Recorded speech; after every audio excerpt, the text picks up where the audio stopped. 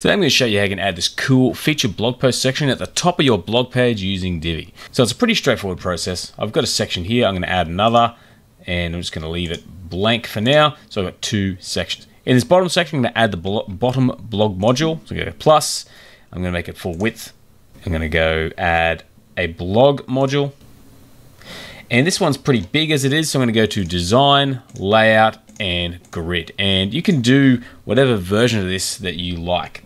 But for now, we've got our grid here with so many blog posts, and we want to add our featured blog post at the top here. One of the things I would recommend is actually even going into this top section and styling it a bit. So you can add a background image and that kind of thing. For now, I'm just going to add a gray background because we can always add in backgrounds and things like that. And essentially, we've got this section now, it differentiates itself from the rest of the blog. Now, I'm going to show you, this is the first way, which is probably not as cool, but something worth knowing. I go to add, I add in my module, and I add in blog again. This time on the post count, I'm just going to put one. I can also split this up into categories if I want to, but overall I now have this big blog post at the top here and then several more underneath. And of course I can do things such as edit if I don't want the meta to show. I can come down to elements, I can turn off pagination for one, I turn off the categories, the date, the author, and I've got something that's pretty tidy here. I can show the read more button, and I get this here, which is pretty cool. Uh, it takes a lot more to get the result you want to. The image is stuck on the top, um, but for now, we'll stick with that before I show you uh, a better way of doing it. And get tick at the bottom. Now you notice our first blog post here is also repeated down here. So the way I fix that is I click on this module, I go to the, the gray square with the cog, I scroll down to post offset number and I put in one. And now it's actually offset that number by one. So it actually skipped the first blog post and start from the second. So straight away there, we've got our featured blog post and a grid here. But this looks a bit crappy, in my opinion. So I'm going to do a better version of that for you. I'm going to add in here. I'm going to add a full width row. And I'm going to add in a full width post slider. And for now, I'm just going to hit tick. And I'm going to just remove this top one. And we have a slideshow here, which isn't really the same thing as what we wanted, but it's actually pretty easy to outfit this to look like a featured blog post area. So I click on this and I go to the gray area, click the cog, and I can just change the post count to one. And now we have the featured image in the background and our blog post. And there's a few more options here we can explore to really customize this. So if I want to, I can scroll down again, go to elements, I'm gonna turn off the post meta, I can show the read more button, I can even go up the top here to content and where it says read more, I can say read our latest post.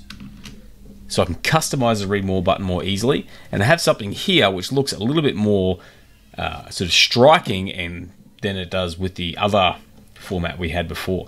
And we've got a few more options and it's just better designed. The next thing we can do is actually change the featured image and where it goes. So I scroll down here to featured image. And it says here featured image placement. I can add top or bottom, which looks pretty ordinary, but left or right actually look probably the best. Now this one, we're a little bit crammed in here, so uh, I'm going to actually change this background to an image.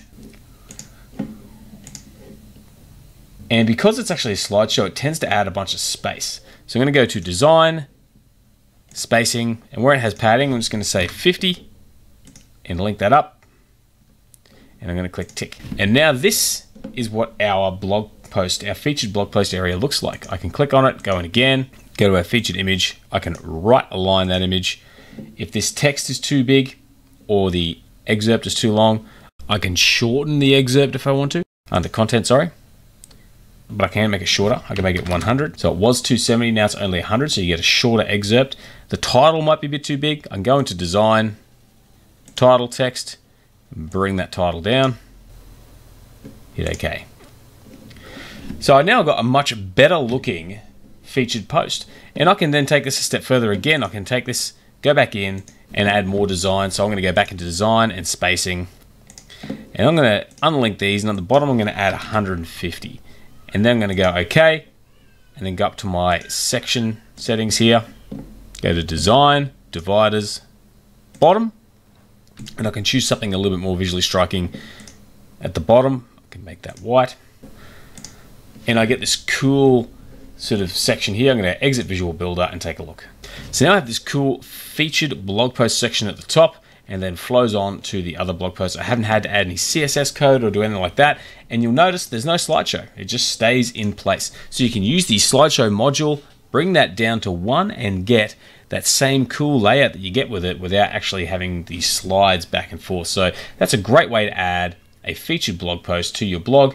And remember, you can also customize which categories they're in. If you wanted to have a featured blog posts category, or if you want to apply this to different category pages, you can actually get a lot done with that. So I hope you found that uh, pretty. Hope you found that useful and interesting. If you did, please consider giving the video a like. If you want to check out the Divi theme, I have a link in the description and a bunch of Divi videos on my channel with a with a list. I'll playlist I'll link to below as well. Otherwise, I hope you had a great have a great day. I'll see you again soon.